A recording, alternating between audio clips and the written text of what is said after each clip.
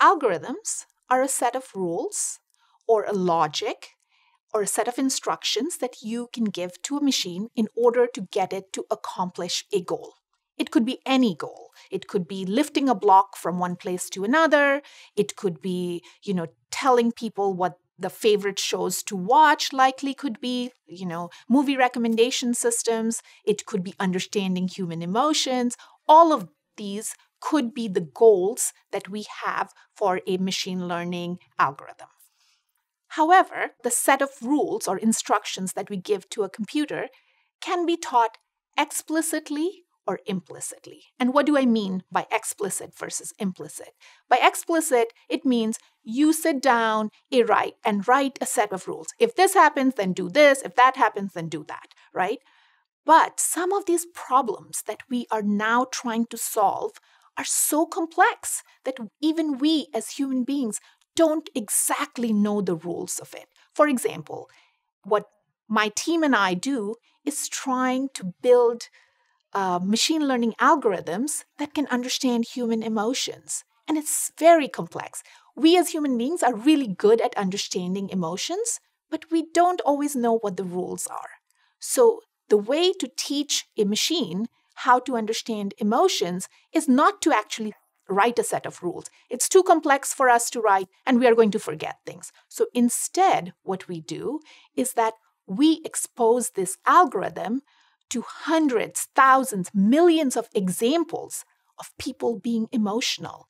And this algorithm, which is really a statistical system, it learns by observing these examples like a child does. It sees a lot of examples of something happening and it starts to figure out the rules. Nobody actually explicitly tells a two year old that this is how you know somebody is happy and this is how you know somebody is angry. The child simply learns it by observing lots of examples of people being emotional. And that's really what we are now trying to do with machine learning is giving the machines or these algorithms the ability to learn the rules implicitly by observing examples. So, as we are building machine learning algorithms that learn from examples, it becomes really important to focus on these examples. Where are they coming from? Whose emotions are these? Are they representing the emotions only of one narrow demographic of people? Or is it representing the emotions for all of us? Your emotions, my emotions, somebody else's emotions. We really need for these examples to be representative of people from every part of the world, every part of society, every socioeconomic background, every age.